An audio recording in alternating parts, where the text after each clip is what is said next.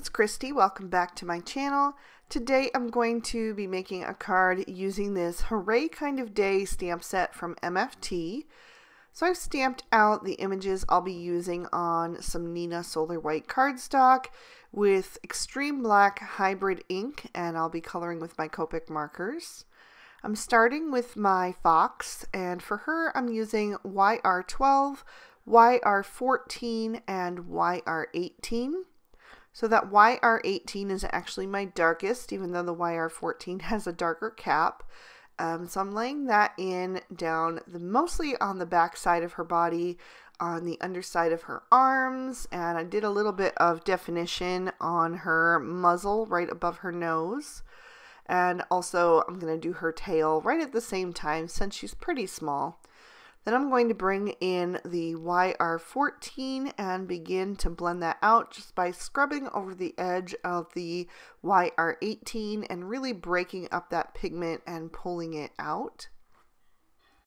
And I'm saving about half of that space for my lightest shade, the YR12. So once I have all the YR14 laid in, I'll bring in that highlight shade and fill in all the rest of the white space. So she has a nice bright highlight on her, especially since she's got her face tipped up toward the sun. It just makes sense that she would have a lot of uh, light, you know, on there. And I decided to leave her little feet white so that they would match the tip of her tail and the bottom of her face and her belly. So she'll have some little white socks and I did also go in with a second layer on her just so that I would have a really nice blend and just increase the saturation and depth of color. So I'm just quickly going back over all of those areas. It's a lot faster to do the second time because everything's already mapped out and um, you can just quickly go over and um, you know, fill everything in once again. And it really does make a big difference. If you're struggling to get your markers to blend well, you might want to try doing a second layer on your images. It makes a huge difference in my opinion. And also just make sure that the cardstock that you're coloring on was intended for alcohol markers. So now moving on to the white areas, and I'm using YR000 and YR00. So I'm adding a little bit of that YR00 in first for some shading, and then I will soften that up with the YR000 and let that fade into the white. I'll use R11 to give her a little rosy cheek and I'm just adding that to the white area on her face and I also colored in the inside of her ear. For the wagon I'm using E53, E55, and E57 so I'm using the E57 first and bringing in my shadows from both sides and also putting a little bit of a shadow under the lip of the top part there and then blending toward the center with the E55 and filling in with the E53. And I'll also use those colors to color in the uh, body of the snail so I used the E57 um, and put the darkest shade on the right this time since he's got that big flower and I figured that would be casting a shadow on his face. So my shadow is kind of coming from the top right area and then I did the same under his chin and then also blended out with the E55 and E53. For the snail's shell, I'm using Y11, Y21, and Y26. So I'm starting with the Y26 and kind of defining the swirl there and then putting a little shadow behind his head. And then I'm blending that out with the Y21. I wanted something that was a bit more of a golden yellow but I wanted to add just a tiny bit of brightness um, in the highlight, which is why I chose the Y11 in combination with those. And then I went back to the E55 because I forgot his little tail.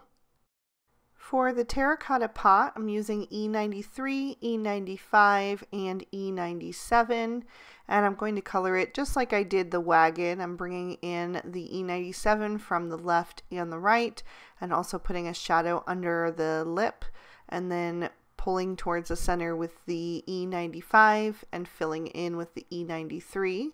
And I find that this makes a really good terracotta color um, but I did do a second layer just to intensify uh, those colors. For the greenery, I'm going to use YG11, YG13, and YG17. So I'm just starting with a little bit of the YG17 on the base of each of those leaves, right where they're attached to the stems, and also making sure to add some color to uh, the little green part that is right beneath the petals. I forget what that's called. but anyway, once I have all of that laid in, I'm going to add the YG13 and blend that out. And I really didn't even end up using the YG11 just because they were so very tiny and there wasn't really space for a third shade. So I'm just making sure to use the very tip of my marker so that I get a nice thin little line. And then I did go back with the YG17 and just add a tiny little dot of that again to the base of the leaves to darken them up. I outlined the stems with the YG17 and some of my strokes there got a little bit away from me so I did go back with my colorless blender and kind of push that color back in so I could get a little bit of a skinnier line there. And then for the flowers, I'm going to use R81, R83, and R85. And I went in with these first with the R81 just because I knew they were super tiny and I wasn't going to be able to really squeeze on all the colors just like I had the problem with the leaves unless I started with my lightest because the lightest would just kind of push away the darker colors. So then I came in with the R83 and then I'm going to finish with the R85 just really tiny little dots there um, just to have a bit of darkness and I didn't bother blending any of that out. I just left it as it was. Since the colors are so close together, they kind of just blend themselves. And then I trim these out with the matching dies. For my focal panel, I cut a piece of Bristol Smooth Surface with the wonky stitched circle STAX Die-namics and I'm going to blend on some watercolor using my Zig Clean Color Real Brush pens. I'm using number 042 turquoise green for the top and I just scribbled that onto an acrylic block and then I'm picking that up with my paintbrush and some clean water and then I'm using number 044 May green for the grass. So I'm just going to blend that right to, at the bottom of the sky. And then I'm also going to dot in some extra color just so I get some different light and dark areas. And once I'm happy with that, I will set that aside to dry completely. And while that is drying, I'm going to go ahead and select my pattern papers. And I'm using the Fun in the Sun collection from MFT. So I chose two different patterns that I thought would work really well from this paper pad. I have the nice big bold print with the florals and then I have the smaller um, kind of coral with the polka dots. So those two complement each other really well. But I did want a third pattern so I went to the Positively Peppy paper pad and I'm kind of going through that one to see what would work well with the other two and I really liked this pink graphic tone on tone and uh, I thought that those three would look really great together. So I'm going to trim those down um, but in the meantime my focal panel is dry so I'm going to pop that into my MISTI so that I can stamp my sentiment and I'm using Lawn Fawn Jet Black ink to just stamp out the really short little sentiment that says love you so I did that kind of at a curve at the top area there. And I did stamp that down several times to get a really dark impression. Then I'm going to pop my card base in my MISTI. I'm using Lawn Fawn's Ballet Slippers cardstock and Peachy Keen ink to kind of go with that pinky corally tones that are in the pattern paper. And I'm stamping the little bunny that's kind of cheering there with some flowers and the sentiment that says, You fill my heart all the way to the top, which is so sweet. And again, I stamped that down a couple times to get a good impression because these were brand new stamps that I hadn't inked up before. So uh, that just helped them get nice and primed. So I trimmed down my floral print with the Lawn Fawn outside in stitch rectangle stackables and then the other two pieces I just trimmed down with my paper trimmer. So I'm going to glue the floral print down to the card and that does trim off just a little bit of a border so you can see the colored cardstock poking through. Then I have the coral polka dot and I'm going to place that vertically on the card over on the left hand side and then I'm using the pink graphic print horizontally across the kind of bottom center there. I added some foam tape to the back of my focal panel so I will peel off the release papers and I'm going to pop that up on my card front and just making sure that that uh, horizon line between the grass and the sky is nice and straight and then I can grab my little images and I'm going to adhere the fox pulling her little wagon first so I'm going to put that sort of in the center of the card there. And you can see now why I chose such a short little sentiment because that just fit perfectly right up there in the sky.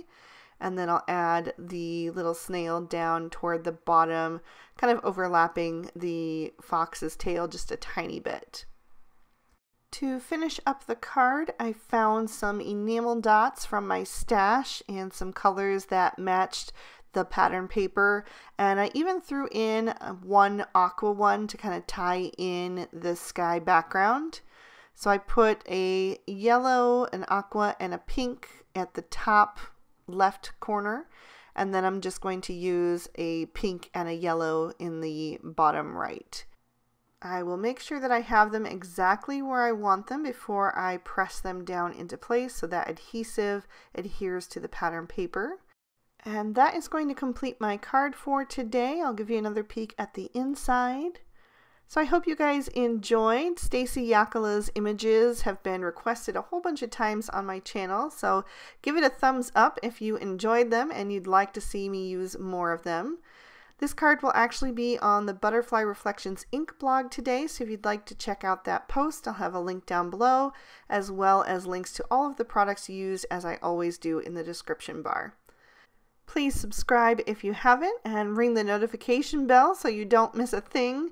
And if you'd like to keep watching, here are two extra videos I thought might also interest you. You can click on either one of those to check them out. I hope you all have an absolutely amazing day. Bye-bye.